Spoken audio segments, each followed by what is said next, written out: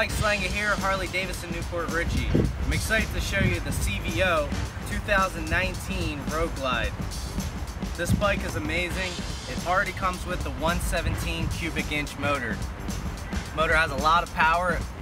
Everything on this bike has been changed from the standard Road Glide. In the front we have a 21 inch wheel, chrome forks, get to the top of the bike, you're looking at the inner fairing and you see the chrome controls, the Defiance package, all custom.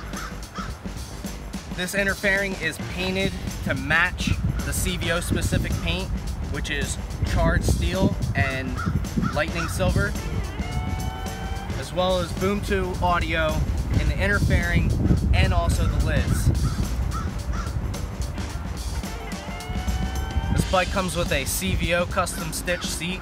This is very comfortable for all you riders that are already on a touring bike and notice you want a little bit more comfort.